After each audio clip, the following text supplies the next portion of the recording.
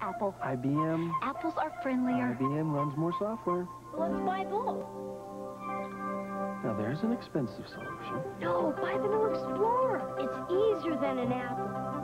It runs all the IBM software, but the important programs are already built in. And it costs less than an Apple or IBM. Why don't we think of that? Why didn't you think of that? Explorer from HeadStart Computers, the complete system for $9.89. Why buy anything else?